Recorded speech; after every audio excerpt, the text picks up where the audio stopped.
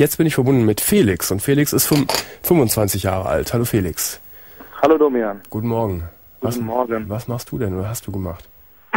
Ja, ich jetzt hatte es gerade über Gerüche, da muss ich ein bisschen lachen. Ja, also ich bin ähm, tätig und zwar reinige ich äh, sogenannte Auffangbecken von städtischen Abfällen, Fäkalien, Kloakenbecken. Oh ja, da bist du natürlich volle Kanne konfrontiert, ne? Mit Gerüchen ja. aller Art. Oh ja.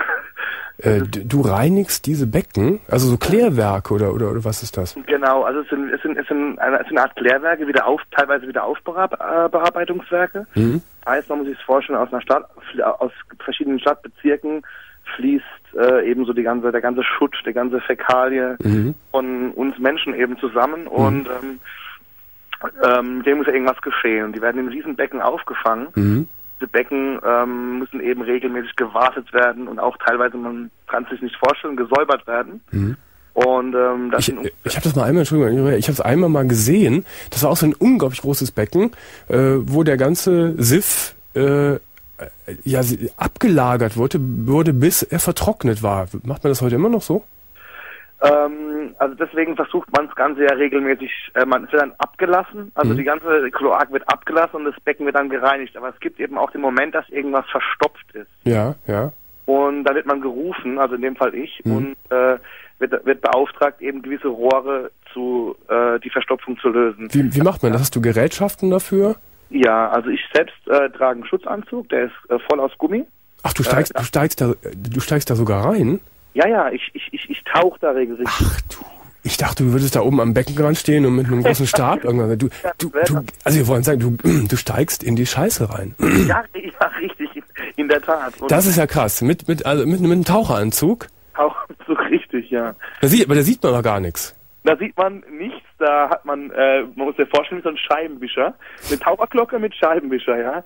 Also man, es, ist, es, ist, es ist schon irgendwie verrückt. Und äh, man ist dann dort unten und sieht eben immer nur partiell etwas, also nur, nur für einen kurzen Moment. Mhm. Man bewegt sich quasi äh, ja eben man hat immer eine kurze Sicht und in die Richtung schwimmt man und wenn man am Rohr ist, das gereinigt werden muss, mhm. hat man eben auch Werkzeuge. Also man hat zum Beispiel Saugglocken, man kann äh, wie, wie, wie diesen, diesen Blöckel, ja, ja, klar. Ja, ja. Von der Toilette, ja. Ja, diese Gummidinger, ne? Genau, ja. und sowas eben in etwas größer und auch elektrisch. Man kann also auch anziehen und, und reindrücken und macht so Rohre frei. Was, ja. was verstopft denn da? Was ist denn da so üblich? was, was findest du? Was siehst du da? Also, ja, ich sehe dort Kot. Ja, ist klar, ja, ja. Zwischen Kot in Massen. Mhm. Und ähm, was eben so in der Kanalisation noch rumschwimmt. Das sind Abfälle, das sind also, das ist Papiermüll, das ist, das sind Dosen, das sind also alles, was so weggeschmissen wird und eben dann äh, eigentlich unrechtmäßig in, in, in der in der Kloake eben unten landet. Und das sorgt eben manchmal wie so eine Art, ja, da schwimmt dann alles zusammen und ja. eben so ein Rohr. Was, was, würd, was würde passieren, wenn ich, wenn ich nicht äh, äh, das Ganze nicht beheben würde? Wäre ganz einfach, dass dieses Becken überlau überlaufen würde mhm. und äh, die Scheiße auf gut Deutsch äh, ja. zu überschwemmen. Was hast du da schon für Sachen gesehen, die dich äh, fast umgehauen hätten, dass die da zu finden sind? Oh, also angefangen harmlos von natürlich Präservativen äh, bis über äh, Dosen. Ich hatte also das Kleidungsstücke jeglicher Art. Also man findet dort, da möchte ich auch nicht wissen, wo sie herkommen. Schlüpfer, Herrenschlüpfer, Damenschlüpfer. Mhm, mh. Ähm, wahrscheinlich, da, da denke ich mal, die werden runtergespült eben, ganz normal durch die Toilette. Ja. Ähm, ja, genau. Alles, was die Toilette runtergespült wird, landet natürlich auch unten in der Kloake, ist klar. Also Gibt es auch Tierkadaver? Ähm, Tierkadaver natürlich auch Ratten. Klar, natürlich, ja klar, aus der Kanalisation, ja, ja. Mhm, ja. Ratten sind quasi schon Standard. Die, die, die schwimmen da unten drin auch rum, die liegen am Grund mhm. und die interessiert, interessiert, die werden auch alle Vierteljahr, wenn die mal komplett, also überhaupt der größere Schund, also die größeren Teile, sage ich jetzt mal, werden dort aussortiert. Mhm. Also die werden so. rausgeholt, richtig geht rausgeholt. Stell ich mir das vor, sitzt du da wirklich in dieser Kloake und, und äh, äh, säuberst das, dann kletterst du völlig eingesifft nach oben wieder. Wie, wie geht's dann weiter? Dann muss sich auch erstmal jemand abduschen oder, oder wie? Genau, es gibt dann äh, sogenannte äh, Duschkabinen, da, da läuft man einfach rein wie so ein Frosch mhm. und dann drückt man eben auf den Knopf und dann kommt, dann macht und dann mhm. wird man komplett äh, per Dampfstrahler, also auch schon, dass schön alles weg ist, Also erstmal der Anzug, ne? Erstmal der Anzug wird gereinigt. Genau, im vollen. Anzug, ja genau. Mhm. Genau, man dreht sich dann quasi im Kreis. Die, die Dusche läuft automatisch mit ziemlich viel Kraft. Mhm.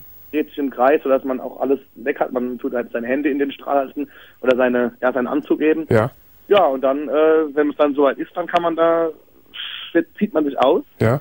Wenn man sich aussieht, hat man ja logischerweise auch Kontakt mit dem Anzug, Mhm. ist ja klar. Und dann desinfiziert man sich natürlich nochmal, Mhm. weil es auch wirklich äh, jegliche Wunde oder jegliche kleine äh, Geschichte am Arm oder an Händen Ja. äh, kann, ist, da ist ho hohe Ansteckungsgefahr. Ja, du, du kannst dir alles möglich holen. Äh, die schlimmsten Krankheiten bis hin zu Hepatitis C und, und was ich was alles, alles. alles. Da Mhm. wird sehr drauf geachtet und man muss dort auch wirklich, also man wird, man kriegt einen Ganzkörper, man, man sprüht sich komplett ab, man Mhm. mhm. den ganzen Körper. Wie oft machst du das? Ähm, Jeden Tag?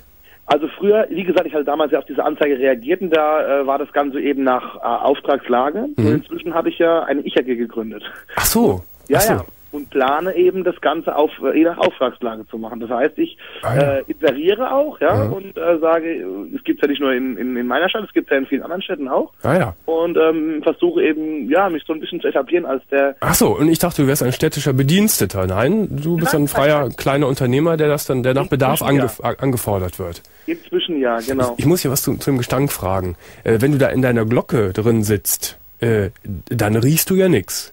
Oder, oder riecht man da auch was?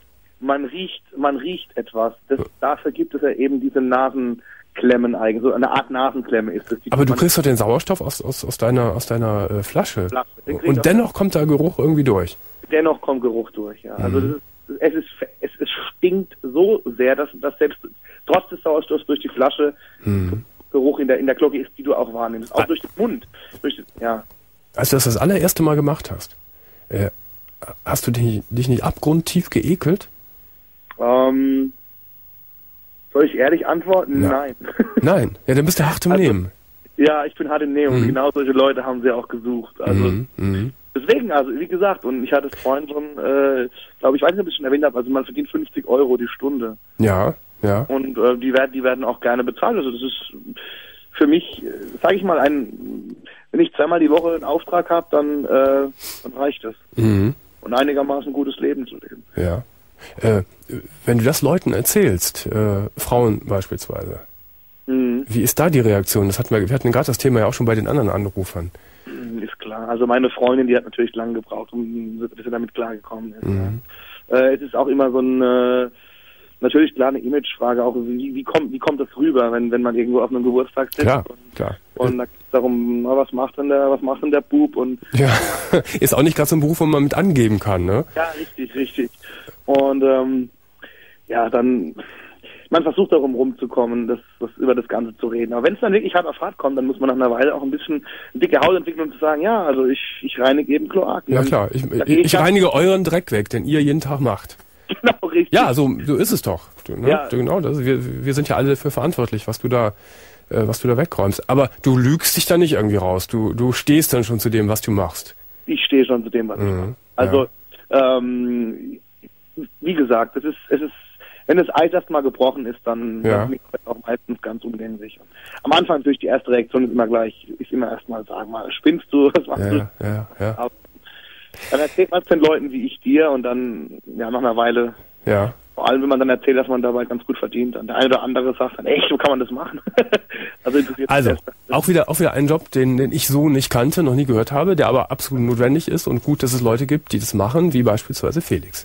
Danke für den Anruf, Felix. Domian, alles klar, alles Gute dir, gell? Alles Gute dir auch. Jo, Tschüss.